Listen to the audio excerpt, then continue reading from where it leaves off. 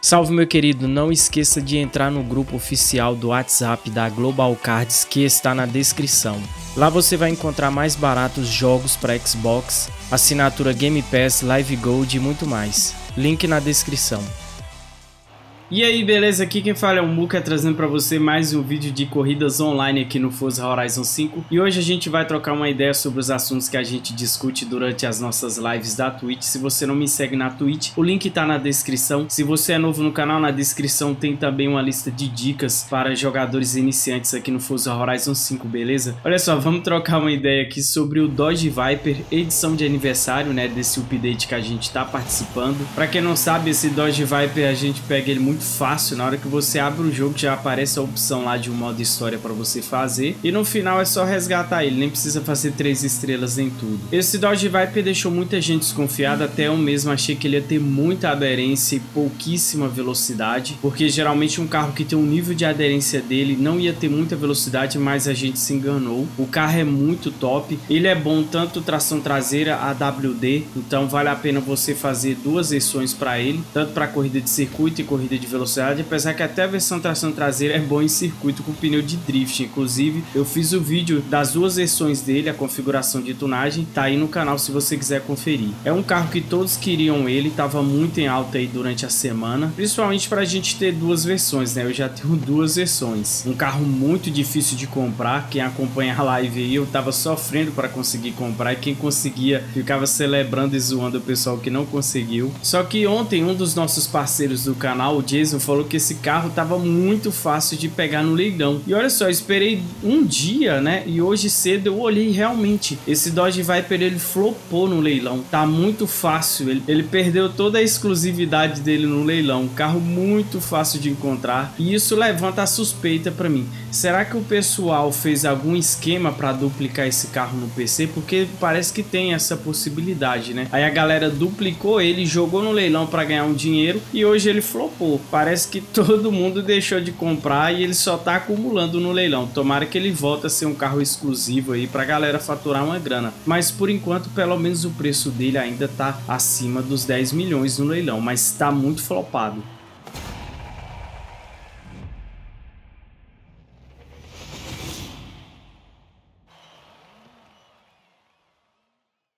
E essa semana tá rolando aí o evento sazonal de inverno que vai durar até quinta-feira. Completando 20 pontos, você vai poder pegar o Eagle, eu chamo ele de Eagle Speedster, que é um carrinho que tá no Forza Horizon 1. O 2 e o 3 eu acho que não teve. Ele retorna no Forza Horizon 4 e novamente aparece aí no Forza Horizon 5. E completando 40 pontos, você vai poder pegar um Hot Wheels Ford Mustang, que é um carro que dá para pegar na roleta, né? Interessante que esse Speedster, ele tinha aparecido no filme Velozes e Furiosos 6, só que foi muito rápido. Então a gente deve considerar que esse carro tem um certo nível de popularidade. Mas tanto o Speedster quanto o Ford Mustang, os dois carros infelizmente não tiveram o desempenho que a maioria gostaria que ele tivesse. O Speedster eu achei que ele ia ser um top carro tração traseira, mas eu vi que alguns jogadores aí que são experientes nessa categoria não curtiram tanto o carro. E o Ford Mustang eu já havia testado ele antes e eu fiquei impressionado desse Ford Mustang da Hot Wheels ele aparecer ali nos eventos sazonais, sendo que é um carro que é muito fácil de você pegar na roleta. E o Aston Martin que a galera chama aí de 177, eu chamo de Oni 77, que vai aparecer essa semana na quinta-feira a partir das 11h30. Eu acredito que esse carro também não vai ser interessante, porque ele é um carro de luxo, muito bonito, tem velocidade e tal, mas eu acredito que não vai dar para encaixar ele na classe S1, a não ser que você coloque o aerofólio do Forza e talvez fique um carro ok. E eu acho que vai ser difícil, se a gente tiver sorte, vai dar para colocar ele na classe A é um carro de luxo, né? Um carro bem pesado que tem e dá para ver que a ideia dele não é um carro para você levar pro track day final de semana. Então, provavelmente vai ser um carro bem pesado que não vai dar pra gente fazer muitas customizações. Eu sinceramente até agora não entendo por que que no update passado a gente teve um monte de Audi novo, um monte de carro, um carro novo mesmo, se você olhar o update passado. E esse update agora de comemoração de 10 anos a gente tem um monte de carro reciclado. Eu acho que no mínimo os desenvolvedores deveriam ter feito um carro edição Forza de cada capa do jogo. Por que, que só fizeram do Forza Horizon 1, cara? Eu não entendo esses caras, mano.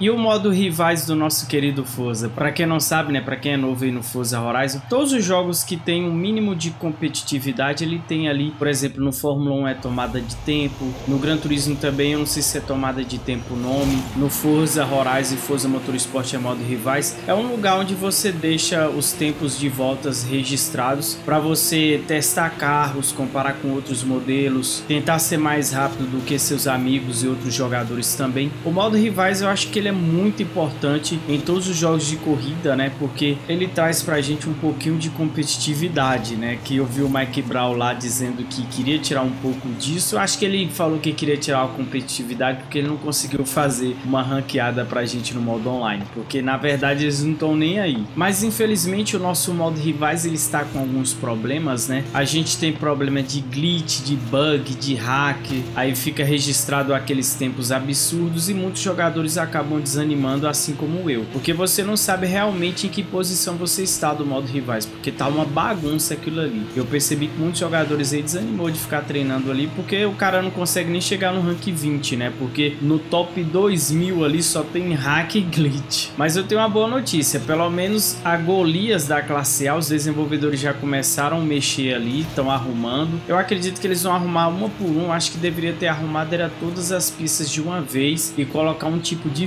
filtro ali para identificar alguma irregularidade e não deixar registrar o tempo, porque não adianta nada os desenvolvedores arrumar todo o modo rivais, aí na semana que vem tá aquela bagunça de novo. Então vamos torcer para que os desenvolvedores aí arrumem o nosso modo rivais, nem que eles façam igual o Fórmula 1 fez, reseta tudo, a galera começa tudo de novo, mas que coloque um sistema que dê para controlar ali, para evitar esses problemas aí que desanima a galera. Mas eu tenho uma dúvida aqui porque eu sempre joguei Need for Speed naquele modo mais tranquilo, mais de boa. Eu queria saber aí quem tem experiência com Need se ele tem algum tipo de sistema de tomada de tempo, estilo modo rivais do Forza para comparar, comparar os tempos com os jogadores. Eu sei que aquele Hot Pursuit ele tem uma ideia assim parecida, né? Mas eu não sei se ele tem ali um ranking, né, de tempo de melhor volta para comparar com os jogadores. Eu sei que até o Dust Rally 3 tem isso. Eu acho que todos os Dust tem, né? Só o Need for Speed que eu não tenho certeza se tem ou não. Se puder deixar aí nos comentários, eu agradeço. Eu que o novo Need for Speed tenha, né? Porque vai incentivar muito a galera a treinar, principalmente porque lá não tem linha sugerida, né? Então os jogadores vão ter que treinar, principalmente quem quer ficar bem competitivo no jogo.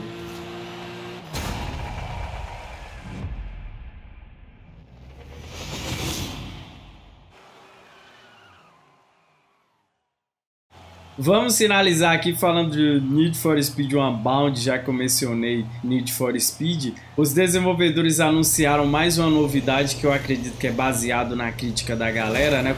Porque o pessoal criticou aqueles efeitos que fica aparecendo, aquelas fumacinha tal. Aí eles soltaram uma nota dizendo que você pode tirar todo esse efeito da sua tela se você não quiser. Ainda bem, porque eu não, eu, eu sinceramente eu não gostei. Se você gostou daqueles efeitos, deixe aí nos comentários. E também vai ter uma opção de você remover aquele efeito também de drift automático, chama assim de drift automático, que é quando você entra numa curva, você aperta o freio ou você dá alguns toques no acelerador, o carro começa a fazer drift do nada, né? Que nem aquele, o Need for Speed, acho que o 2015, né? Que o Honda Civic tração dianteira, até ele fazia drift. Então essa opção você vai poder habilitar ou desabilitar. Eu vou desabilitar, eu acho que a gente tem que fazer drift na hora que a gente quiser, não, não drift assim que você começa a fazer do nada. Agora, sinceramente, eu só vou confiar nisso e vendo, né? A gente tem que ver também como é que vai ser a questão de desempenho, né? Se o carro vai ser mais rápido com esse efeito de fazendo drift na, na curva automaticamente, ou se ele vai ser mais rápido sem esse efeito. Teoricamente, um carro que não desliza, né? Um carro que não desliza, ele é um carro mais rápido, né? Mas o Need for Speed talvez ele não respeita muito essa questão de física que é um pouco da vida real. Mas eu sinceramente não sei se eu vou querer levar a sério o Need for Speed em modo competitivo. Eu vou querer mais ir nesse jogo mais para a questão de customização dos carros, andar num mapa diferente, mas é assim querer, ah, vou entrar lá e vou competitivo, porque eu acredito que lá nem vai ter um modo rivais para você testar carros. Eu acho que não vai ter um nível de complexidade em questão de configuração de tunagem comparado com o Forza Horizon, Forza Motorsport, até o The Crew também, que é bem diferente. A gente vai ter o TDU também, né? Que eu acho que esse é um jogo que a galera vai mais focar, principalmente porque ele vai utilizar uma, uma base de um jogo de simulação, que é aquele WRC, que lá tem uma configuração de tunagem bem complexa também. Então acredito que aquele jogo ali, ele vai forçar um pouco a barra do Need for Speed. Principalmente se os desenvolvedores não errar na física do TDU, né? Porque WRC a física é muito, muito simulação, então eles vão ter que puxar muito pro arcade. Então é isso, eu espero que tenha gostado. Lembrando que está rolando a série do Forza Horizon 2, segundo episódio, tá tendo a votação de carros lá nos comentários. Para quem quer se livrar de energético, o link da Overclock com o meu cupom tá na descrição. Lista de dicas também, se você quiser participar das nossas corridas online, é só colar na Twitch, o link tá na descrição e o Discord também.